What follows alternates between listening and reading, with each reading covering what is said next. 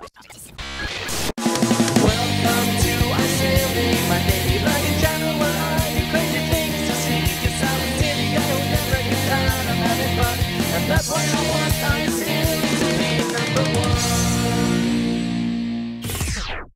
guys, so uh, today I'm going up to the hospital to have a blood sample taken. Um, I'm testing out some new medicine, which hopefully will work on me.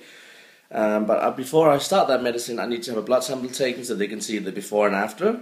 So I'm heading up to do that in a minute shortly. Um, but first, I need to pop down to Brugsen, which is the shop locally where we live, and pick up a package because my 16 gigs of RAM for my computer came. So that is gonna be so nice. I'm I I hope it's gonna be such a big change that I'm really gonna be happy. Um, because they were a little bit expensive, but I'm going from four up to 16, so that's going to be hopefully a, a lovely change, and it will allow me to do more than just. As soon as I edit or render my videos, that I can do more than just that. I can have like another program going at the same time or something like that.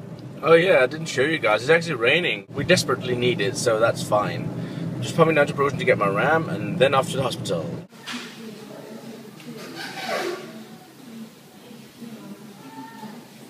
So I just been at the hospital. Unfortunately, I wasn't allowed to film in there. Uh, I did ask them to say, "Can I film it? Can I film it? I get my arm pierced or my get the needle in and all that." You can see I have that right there.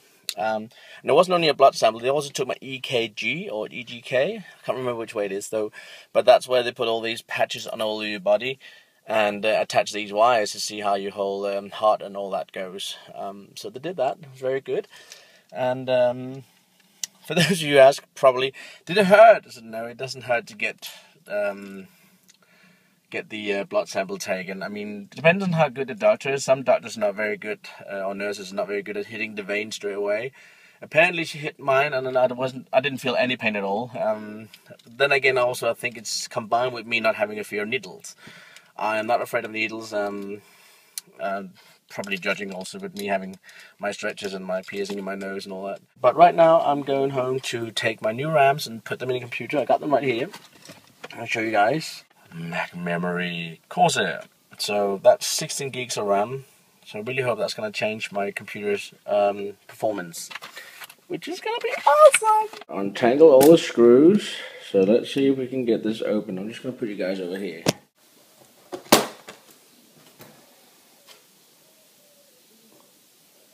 Whoa, that's really, really dusty inside. Crazy. You guys see all that? All that dust. Crazy. Well, I know what to do. Gotta clean my computer. There we go. The fan's all nice and clean right now, which is great. And I'm about to change the RAM, so I just lifted one plug out. There's my 2 gig there. And also another 2 gig here.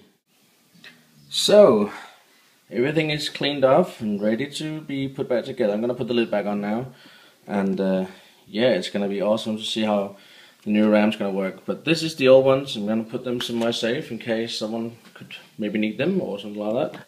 We don't know. But um, just going to clean the lid and then I'm going to be popping that on. And we'll boot the beast up and see if it starts. Now let's try and put it on and see if it works. The fan should be much quieter as well.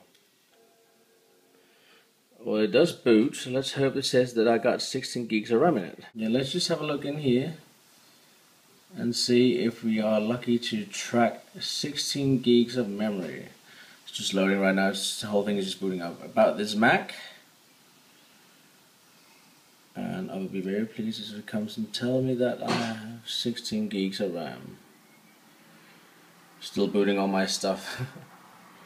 yep, you guys see it? 16 gigs of 1333 megahertz DDR3 RAM. So that is sweet. Um, I should be feeling a very big change in the performance of the computer and also I should be able to run more things and it shouldn't overheat that quick either. It doesn't overheat but it don't it shouldn't get that warm so quickly. So yeah that is really really cool Best thing is the fans are very quiet now. They needed a clean, and I did a complete clean. I took the fans apart as well. Uh, don't do that unless you know what you're doing. Um, if you want to do it and you got a MacBook, ask your parents to help you and look up some videos on YouTube just to make sure you don't ruin anything, because that would be really really sad. Do a tail whip. Do a tail whip. What's up, Sebastian? I think that's creepy. So right guys, you know I'm wearing a, a knee pad right now and Sebastian came in and sat down and he slammed the scooter over my leg. And I was screaming in my brain, I was like, what, have you got a knee pad there? No, it's the other leg. so it's just like, ow! I wasn't that bad, it was just the fact, but if he had done it quick, like, I would have hurt. But yeah, we're not that many people up here today, it's too warm, even though it's looking like rain outside soon. But I hope it's gonna stay dry because I'm gonna take Sally, go for a long run. Um, I'm gonna go in do some scooter and slash skating right now, so I'll see you guys a little bit later inside. Sweating like a pig. Yeah, um, just chilling here right now, and well, we're actually closing off now. You can see it's getting dark, and everybody's left. It's only me and Lasse closing off. Then I go home, but it's pouring down outside now, so I was supposed to take Sally for a long walk or run. But I don't think it'll be that long now if it's pissing down like that, but I do want to take her out. Angry Lasse. and I'm laying on the cold hard ground. Ground. that was a lot of fun. Alright. Um ah, Another mum. Someone else forgot a phone. Whenever someone forget their phone, we used to call them, uh, look at the phone and find the number of mom or dad, and we always call them. Your phone is out here. Uh, we already done one today, which is up there. so yeah, we're gonna find another one. Just switch the sound off. Immediate having Whoa. Yep, it's still raining, and this is a massive good hill. If you're a longboarder, this would be fun. um, but yeah, I'm going home now. I'm taking another way this time because of some road work uh, if I go through town. When I call someone if I'm driving, I always put the phone underneath the seatbelt on my chest and put it on speaker so I can talk to them because I, we haven't got hands-free in this car. It's a very old car. But um, when it sits on my chest, am I the only one? I guess I'm very sensitive, maybe. But if I have a mobile phone touch me somewhere, I can feel the signal and it's irritating me. It's not comfortable at all. It's like sometimes if I have been using my phone and I'm watching TV on the sofa and just put it down on my stomach, I can't leave it there. I can feel the signal annoying me. Um, so I guess I don't know. Maybe I'm just very sensitive. Um, and also the only place which wonders with me how come I don't feel it when I speak like this. Um, but I do feel it um, if I put on my leg if it's on my lap, uh, my lap, when I um, do something or something like that, I can still feel it. It's like it feels annoying. It feels like something's going on. It's not comfortable, and I don't even have to touch. I can just put it just above.